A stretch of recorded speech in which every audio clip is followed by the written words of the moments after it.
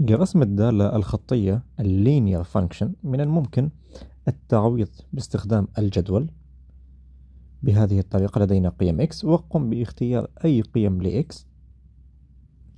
ثم نحتاج أن نقوم بإيجاد ال y وهو ال fx وطبعا هذا باستخدام التعويض. يجب أن أقوم substitution بتعويض داخل هذا ال function فمثلا لو اخترنا أي أعداد مثل ما ذكرنا سنختار أعداد عشوائية سالب وموجب negative و positive negative 1 0 1 3 ليس من الضروري أن يكون بالترتيب.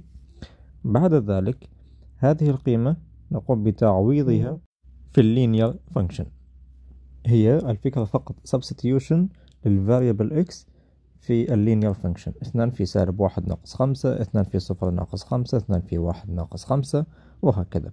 طبعا يجب أن نقوم بالضرب ثم الطرح اثنان في سالب واحد سالب اثنان ناقص خمسة هي سالب سبعة والمتغير فقط هو قيمة الإكس الناتج الأول سالب سبعة الناتج الثاني اثنان في صفر سيكون صفر ولو طرحنا منه خمسة هو سالب خمسة طبعا سنوضح في النهاية كيف أستخدم الآلة الحاسبة. وأثنان في ثلاث ستة ناقص خمسة واحد. هذه أزواج أحداثية pairs ل x و y. فسالب واحد سالب سبعة صفر سالب خمسة وواحد سالب ثلاث ثلاثة واحد.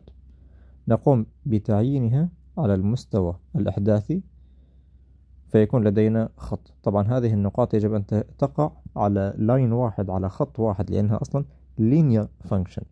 كما ذكرنا سالب واحد سالب سبعة هذه هي سالب واحد x سالب سبعة y صفر سالب خمسة وطبعا هي هذه ال intercept لل y مقطع ال y واحد سالب ثلاث positive ثلاث وواحد. طبعا تخطيت الاثنان لا يهم من الممكن أن نأخذ كسور.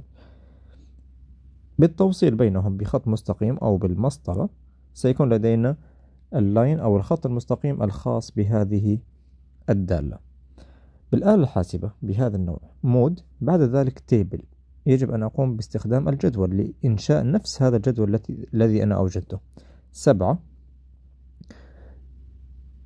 ثم نكتب الدالة 2 x ال x تحتاج ألفا ثم x في الأسفل. هنا. ناقص خمسة. يساوي. سيطلب مني بأي عدد سأبدأ؟ سأبدأ مثلا بالسالب اثنان. لأي عدد سأنتهي؟ طبعا لقيم الإكس خمسة. الستب كم خطوة تزداد؟ أنا ضغطت واحد يعني واحد اثنان ثلاثة أربعة. من الممكن أن يكون اثنان سب اثنان أربعة ستة ثمانية. على حسب الدالة التي تحتاجها. طبعا هذه النقاط. وأيضا بهذه الآلة الحاسبة الأخرى منيو. طبعا هي عند العدد تسعة. table أيضا منيو. نختار تسعة بالتحديد. table. نكتب الدالة 2x minus خمسة. لا نريد الدالة الثانية جي أبدأ بالواحد مثلا وانتهي عند الخمسة وفي كل مرة نزداد واحد. هذه النقاط هي الخط المستقيم.